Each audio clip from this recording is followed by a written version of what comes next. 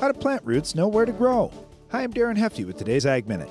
Do plant roots know simply to grow down, or how do they know where to go? Good questions. When you put a seed in the ground or dig a hole to put a small plant in, you're just trusting the plant knows what to do and how to grow roots. But it doesn't always work out for you, though, does it? Plant roots will grow to the path of least resistance. If there's a hard, compacted area in the soil, they'll try to grow along it or around it.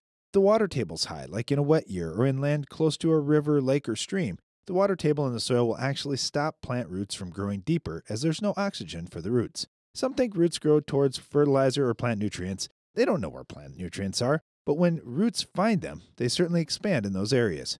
Root expansion occurs in the presence of beneficial soil microbes that work with the roots to bring in food. There are lots of reasons why plants grow roots and where the roots will grow. It's part of what makes farming so much fun, yet such a challenge. With today's Ag Minute, I'm Darren Hefty.